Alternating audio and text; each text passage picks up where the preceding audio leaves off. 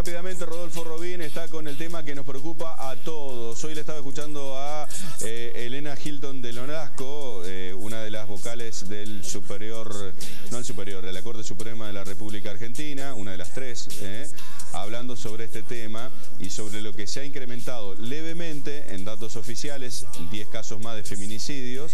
Mencionaba en los diarios salió 275, la Corte considera que hay 235 casos este, en este año, 10 más que el año pasado. La diferencia se va dando porque eh, eh, en algunas ocasiones en los registros oficiales no aparece lo que tiene que ver con eh, las transexuales o, por ahí personas que tienen otra condición, otro género y en los números por ahí no se grafica ese 275 casos de feminicidios que ya tiene la República Argentina. ¿sí? Entonces, en ese marco expresaba la titular en este ámbito de que es lamentable que sigan ocurriendo estos casos, es una luchadora de toda la vida también por los derechos eh, y la no violencia, y la verdad esto tiene que decirse alguna vez para todas, nunca más ni una menos, basta ya y que sea la justicia justamente la encargada de tener punitorios elevadísimos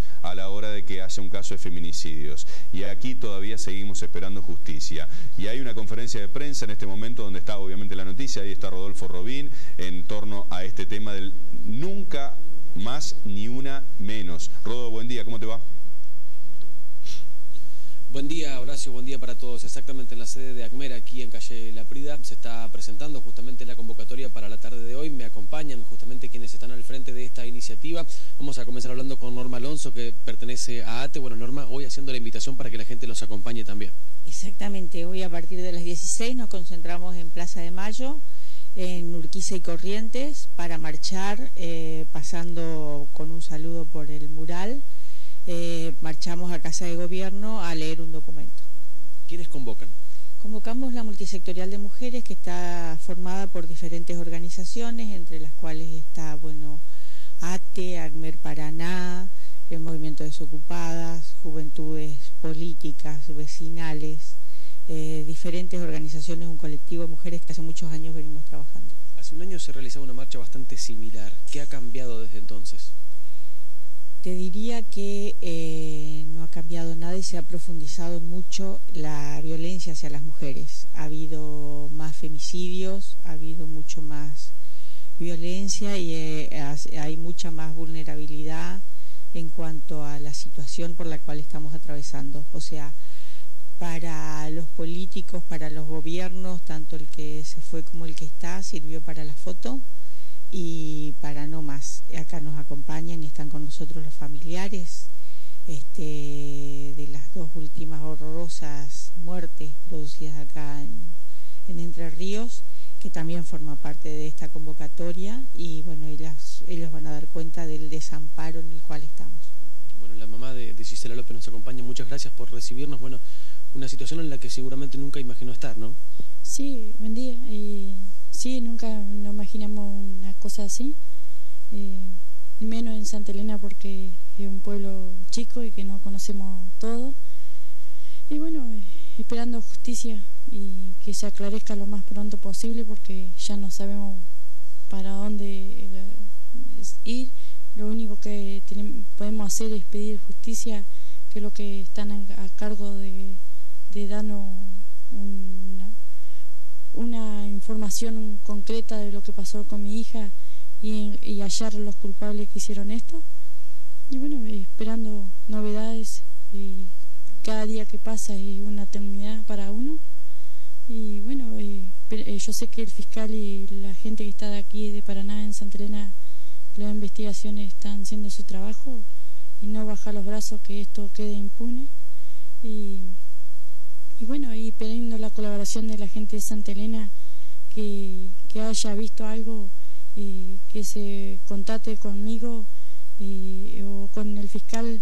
Eh, necesitamos algo certero y, concreto, que hayan han visto alzado a alguien o, que, que ha visto que la arma no a alguien o que la, alguien la golpeó eh, algo certero, no que se diga una cosa y después no quiera colaborar con el reparación y que esto no vuelva a ocurrir ni en Santa Elena ni en ningún lugar de, Entre Ríos.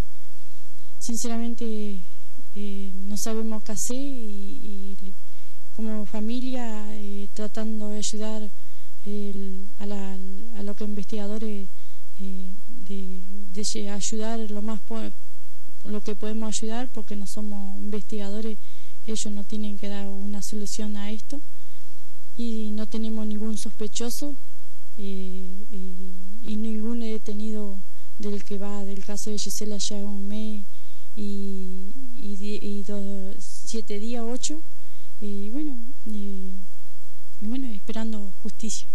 Vecina de la familia también, ¿no? Hola, buen día. Sí, también como dice mamá de Gisela, esperando novedad del caso y pedimos justicia por Gisela y por todas las chicas de femicidio que hay en todos lados. Y después no tenemos otro, no tenemos ni una noticia para decir que sabemos algo. Como vecina yo no puedo decir vi algo porque no vimos. Soy vecina y amiga de la familia, nada más. Bueno, cuéntenos en representación de quién viene y bueno, y también la convocatoria para eh, vengo en representación de la familia de Diana Rojas, de Nogoyá, que fue asesinada en el sur de la Argentina, en Puerto Madryn, donde ella estudiaba. ¿Sí? Y bueno, este, eh, estoy acá porque, como sabemos, eh, somos de pueblo, digamos. Como dijo la señora recién, en el pueblo nos conocemos todos y fue algo que chocó muy fuerte en nuestro pueblo, Nogoyá. Sí, al saber que bueno que una hija de Nogoyá que se encontraba tan lejos este, tuvo ese trágico final. Hay un detenido, ¿esto alivia un poco la situación de la familia?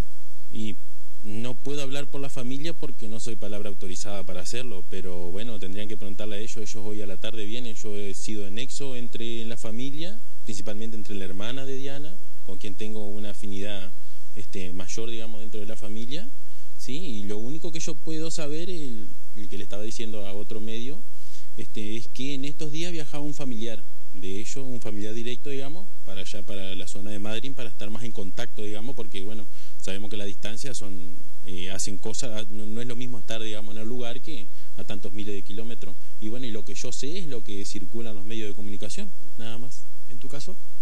Eh, yo soy parte de la multisectorial de mujeres. Eh, como decía Norma, bueno, nosotras este, convocamos de la multisectorial, pero en conjunto con los familiares. viene gente, viene más gente de Santa Elena a la tarde, se organizaron familiares, amigos para poder participar. Eh, y también, como decía Ricardo, familiares de Diana. Este, para nosotros es muy importante que esto se pueda visibilizar, porque en realidad son dos de los casos de los siete femicidios que ha habido a lo largo del año. Este, y en el pedido de, principalmente el pedido de justicia por ellas dos, por todas las demás, este, y exigimos también eh, la violencia, el, perdón, eh, la emergencia en violencia de género a nivel nacional y en la provincia de Entre Ríos, este, y entendemos bueno que la forma, digamos, de, poder lograrlo es este, caminar todos juntos este camino. Bueno, en representación de quién nos acompaña. Hola, soy representación de ACMER, soy docente y la invitación es para toda la comunidad docente y comunidad en general que nos acompañen esta tarde porque es importante que todo el mundo esté presente en este reclamo de, justicia y como, como, decía ella recién en el tema de la ley de violencia exigimos que ya se, se ponga en práctica. Muy bien, Horacio. Bueno, esto es lo que está sucediendo en estos momentos entonces en la sede aquí de Acmer Paraná, en Calle La Prida, donde se está presentando esta convocatoria para la tarde de hoy a partir de las 16 en Plaza Primero de Mayo. Gracias, Rodolfo. La verdad no podemos acotar más nada que, a ver, los rostros de la mamá de Cisela, de los dos casos que están ahí, de los siete casos que mencionaba recién este, una de las, de las organizadoras presentes, eh, realmente es escabroso, no vamos ni la mitad del año y aquí en Entre Ríos, solo en Entre Ríos ya tenemos siete casos de feminicidio. ¿sí? Eh, nada, si la justicia no toma carta en el asunto, realmente esto eh, va en ascenso y, si no hay penas contundentes, eh, bueno, va a seguir deteriorando la imagen que ya hoy tiene la justicia entrerriana. Gracias, Rodolfo. Hasta luego. Hora 11.06 minutos en la República Argentina. Guarda con este, emociones y que todo el mundo mire para otro lado, porque el pueblo siempre pasa factura por estas cosas. No hay que estar hablando solamente de presupuestos, si tenés gastos reservados, eh, la comodidad de los viajes que se hacen dos, tres veces por año, suculentos sueldos. Siempre falta algo y lo que realmente no es falta cantidad, sino falta ejecución, falta rapidez, falta menos tranza, falta que las instituciones judiciales empiecen a blanquear la imagen que la tienen por el piso.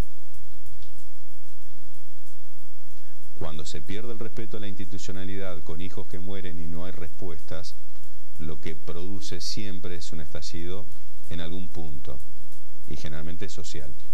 Acá no estamos hablando de denuncias de corrupción, estamos hablando de hechos concretos, muertes, asesinatos por personas que gozan de no solamente violar a otra persona o a una chica, niña, adolescente o no tanto, sino que además para eliminar cualquier tipo de denuncia, matan y descuartizan.